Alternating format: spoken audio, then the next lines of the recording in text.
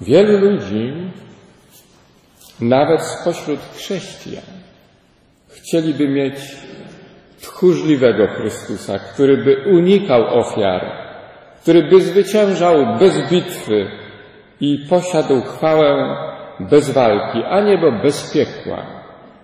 I drą się w niebo głosy, zejdź z krzyża, a uwierzymy w Ciebie. Chcieliby tolerancyjnego Chrystusa, któremu byłoby obojętne cnota czy też występem. Chrystusa, który by nie znał tak wzniosłego dobra, aby umrzeć celem podjęcia się Jego obrony i który widziałby wielką przewrotność zła i nie potępiał go. No raz po raz słyszycie przecież, jak rozmaici teolodzy współcześni, duchowni pragną mieć Chrystusa, który nigdy nie skręcił biczy, aby wyrzucić kupców ze świątyni, który nigdy nie głosił i nie kazał nam odcinać ręki i nogi, czy też wyłupywać sobie oczu, jeśli te wiodłyby nas do grzechu. Wreszcie Chrystusa, który nigdy by nie wspomniał o piekle czy o szatanie, ani też o rozwodach, nazywając cudzołóstwem życie z kimś drugim, trzecim lub czwartym. Przecież lepiej to nazwać niesakramentalnym małżeństwem lub nieuregulowanym związkiem i dopuścić cudzołożnika do Komunii Świętej. Nieważne, że świętokradzkiej, rodzącej śmierć wieczną duszy przyjmującego. Kto by się tym przejmował? Przecież Chrystus jest miłosierny. I co na tę światową paplaninę ma odpowiedzieć prawy chrześcijanin, rycerz Chrystusa Króla, widząc Jego szargany majestat? Ma rzucić rękawicę rycerską prosto w twarz, zwłaszcza tym wilkom w owczej skórze, którzy niszczą od środka Królestwo Chrystusowe. Weźcie sobie waszego bezwartościowego, taniego Chrystusa, którego nazywacie bluźnie, bluźnierczo miłosiernym. Weźcie sobie Chrystusa, który na różnych zjazdach religijnych ekumenicznie przez was jest umieszczany na tym samym poziomie, co różni ziemscy nauczyciele obyczajów i reformatorzy religijni. Weźcie sobie tego słodkiego i delikatnego Chrystusa, którego nazywacie dobrym człowiekiem, bo znieważacie i kalacie Jego boskość, gdy robicie z Niego jedynie człowieka. Weźcie sobie swojego wymyślonego przez Was Chrystusa, który nie potrafi ocalić prawdy, którą ogłosił, ale to nie z tymi, za których On oddał życie. Zabierzcie sobie słabego Chrystusa, który mógł pobłogosławić zamierające nasienie, aby na nowo ożyło, a nie miał siły, aby na nowo wskrzesić do życia samego siebie, gdy raz umarł i nie może usunąć kamienia grobowego.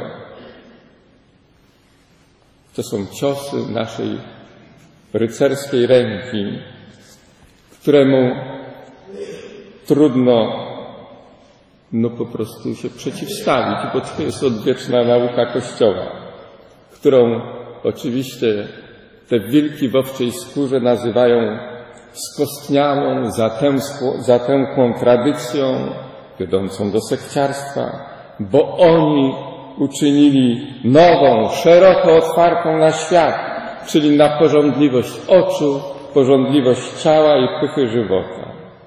Przez to Kościół jest oczywiście według nich uniwersalnym, ale czy boskim?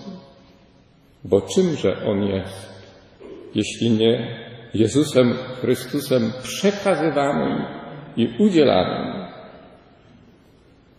A jeśli ośmielicie się podnieść swój zniewieściały oręż i zadać cios w postaci pytania, dlaczego mamy zabrać ze sobą takiego Chrystusa, to mamy odpowiedzieć ciosem nie do odparcia.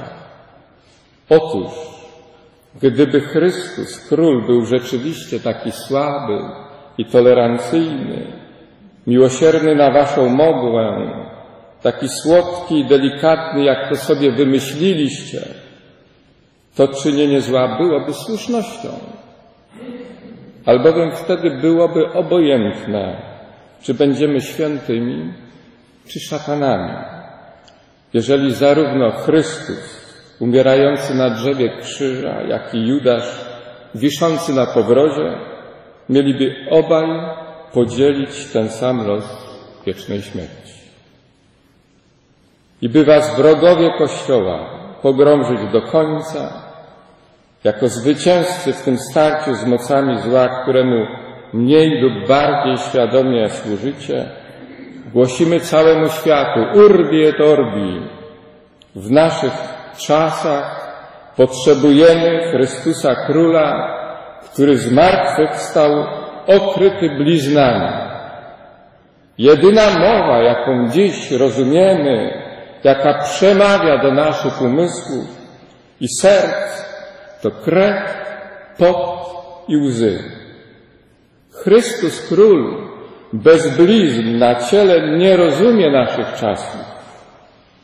W tej czarnej godzinie beznadziei, gdy wszystko, co na tym świecie sprawiedliwe zbankrutowało, gdy ludzkość wyzbyła się nie tylko wiary, ale jak to pokazały ostatnie dwa lata, rozumu, gdy poszczególni ludzie upadli na duchu, osamotnieni, i stali się bezsilni wobec Goliata kłamstwa i zaprzaństwa i cierpią straszliwe zniewolenie przez szaleńców z piekła rodem, uwolnionych na ten czas z piekielnego łańcucha, do nas żaden miękki Chrystus nie przemawia.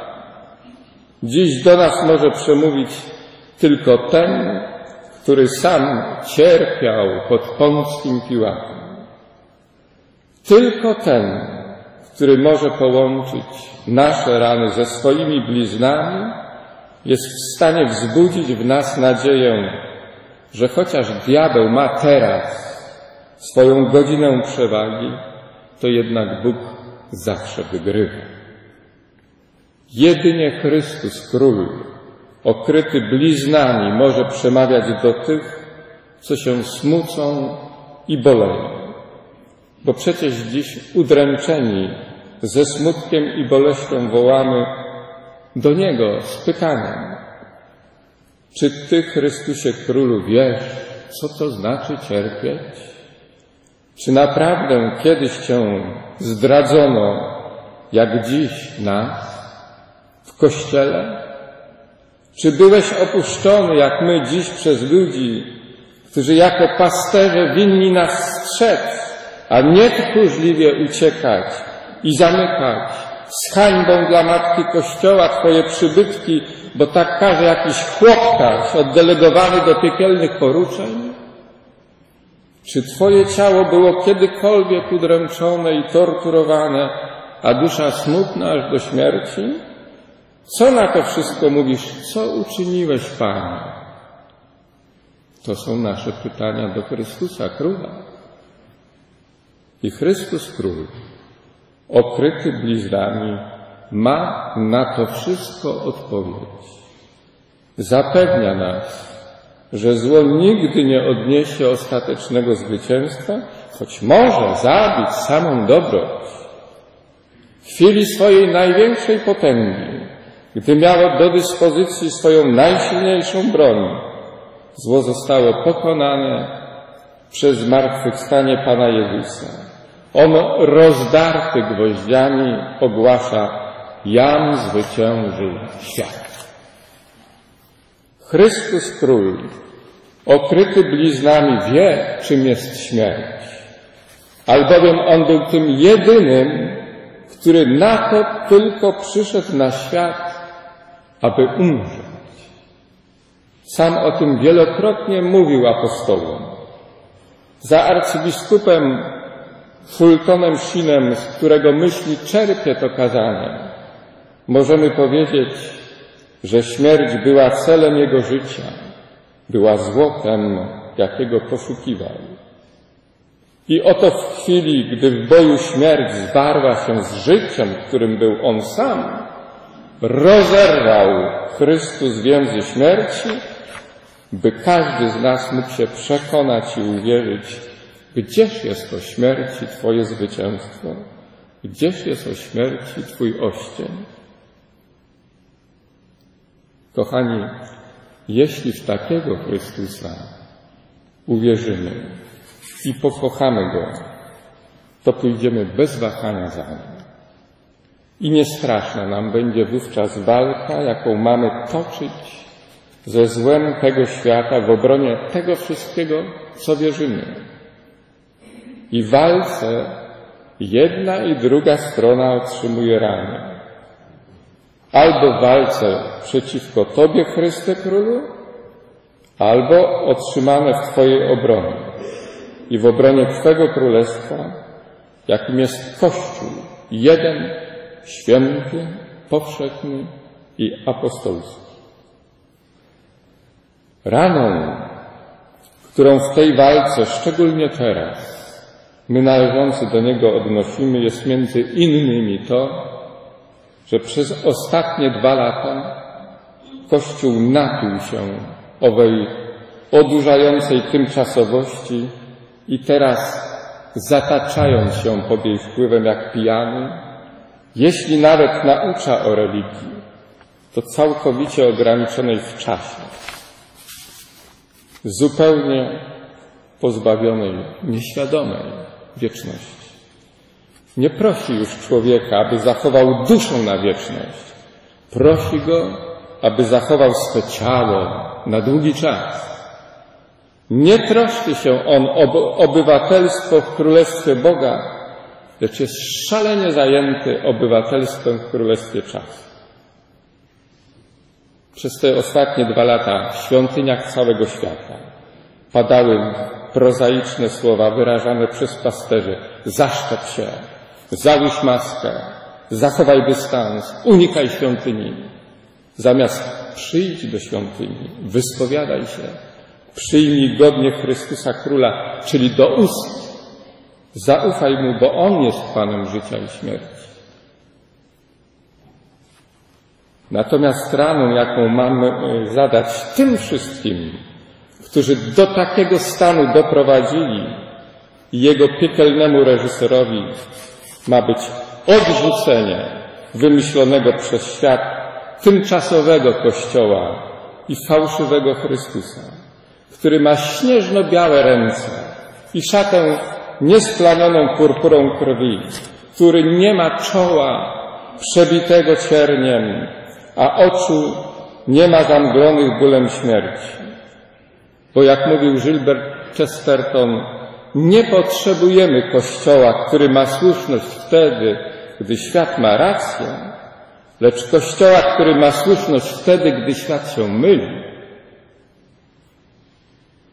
I bądźmy pewni, że po takim boju pozostaną chwalebne blizny odniesione w obronie Boga Króla, który jest miłością. Póki co walka trwa, a my jako Kościół, który jest Jego Królestwem, z pokorą wołamy Przyjdź, Panie Jezu, okryty bliznami, gdyż nie jesteśmy silni, dopóki Twoje przebite dłonie nie obejmą naszych rąk. Nie jesteśmy mężni, dopóki nie widzimy gwarancji zwycięstwa odbitej na Twoim sercu. Nie staniemy się w tej walce wolnymi tak długo, dopóki Ty nie przywiążesz nas do swoich blizn. Skoro zło posiada tak wielką moc, że śmierć krąży pośród nas, za świętym Tomaszem apostołem, który jest naszym orędownikiem, wołamy, jeśli na rękach Jego nie zobaczę śladu gwoździ i nie włożę palca mego na miejsce gwoździ i ręki mej nie włożę w bok Jego, nie uwierzę. Chryste Królu, musimy widzieć cierniowe kolce na Twoim czole i skroni, Musimy Cię posiadać, o Jezu, pokryty bliznami, bo na naszych ran jedynie Boże rany mogą przemówić. Te, które jedynie Ty, Panie, posiadasz. I wraz ze świętym Tomaszem apostołem, naszym orędownikiem, wyznajemy na kolanach Pan mój i Bóg mój.